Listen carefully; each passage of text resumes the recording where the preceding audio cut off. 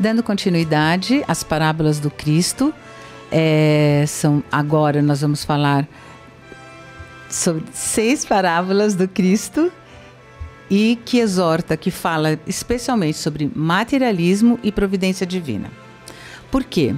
Jesus, condenando indiretamente o materialismo, exorta os seus discípulos para não preocupar demasiado com seus bens e as suas necessidades materiais, mas sim preocupar-se mais em primeiro lugar em guardar tesouros no céu, para preparar o acesso ao reino de Deus. Sobre a riqueza, Jesus alerta os seus discípulos para o fato de ser impossível servir ao mesmo tempo a Deus e a riqueza, e relativamente às necessidades materiais dos homens e às suas preocupações cotidianas. Jesus apela para a confiança na providência divina, afirmando que Vosso Pai Celeste sabe que necessitais de tudo isso e que o dia de amanhã terá as suas preocupações próprias. A cada dia basta o seu cuidado. Em Mateus capítulo 6, versículos 19 a 34.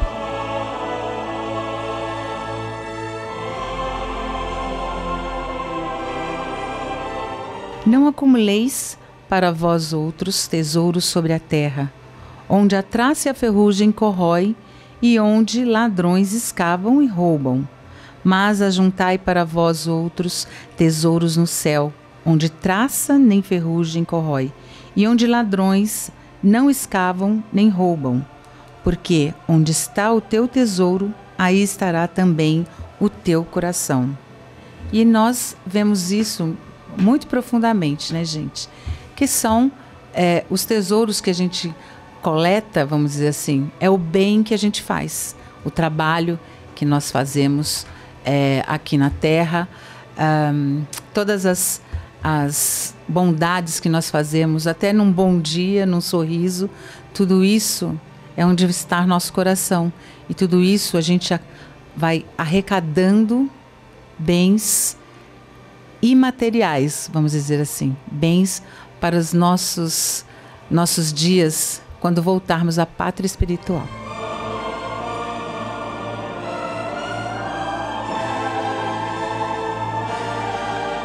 São os olhos a lâmpada do corpo. Se os teus olhos forem bons, todo o teu corpo será luminoso. Porém, se os teus olhos forem maus, todo o teu corpo estará em trevas. Portanto, caso a luz que em ti há sejam trevas, que grandes trevas serão. Nessa, nós passamos a, a, a ver o olho, a luminosidade que Cristo quis dizer é: sabe quando a gente está de bem com a vida, quando a gente, nós estamos bem, estamos felizes, tudo que a gente olha, a gente vê alguma coisa boa. Agora, quando a gente não está bem, quando o nosso coração não, não é bom, tudo que a gente vai olhar é ruim né? Um copo d'água, você vai reclamar, por que, que é água, sendo que a água é vida? É, você vai olhar uma pessoa e vai achar ela é feia, mas você esquece, esquece de olhar o coração, né? Aquela uma pessoa alegre, feliz, tão, tão bondosa. E essa pessoa se torna super bonita aos olhos da gente. Agora, se você, se os seus padrões não são esses de ver a beleza interior, que, que você vai ver? Só a beleza externa. Essa não conta muito, gente. Então, os nossos olhos têm que ser luz, nossos olhos têm que ser puro, para a gente poder enxergar mais do que aparências.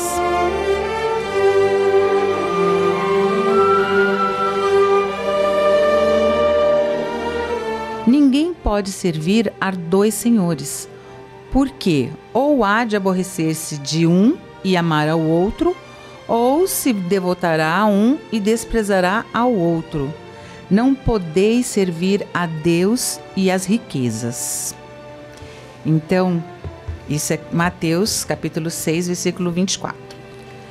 Se nós não soubermos separar o que é de Deus e o que é dos homens, vamos dizer assim, porque a riqueza, gente, virou dos homens. Nós que achamos que a gente só pode ser bondoso se a gente tiver dinheiro, nós só podemos ser felizes se tivermos dinheiro e assim por diante, né? Então, brincadeiras à parte, né? Dizem né, que o, é, o dinheiro não traz felicidade, mas manda, né? Manda levar.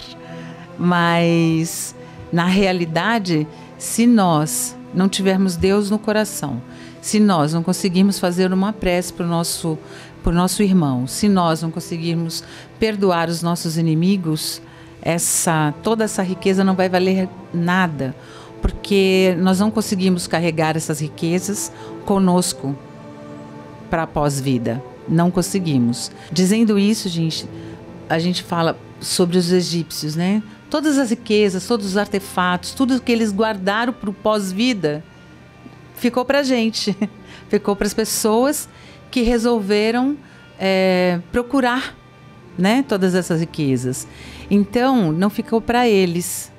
Por quê? Porque essas riquezas ficam. O que nós conseguimos levar é tudo que nós conseguimos somar no nosso espírito e no nosso coração. Isso nós vamos levar. Continue nos acompanhando com as parábolas de Jesus.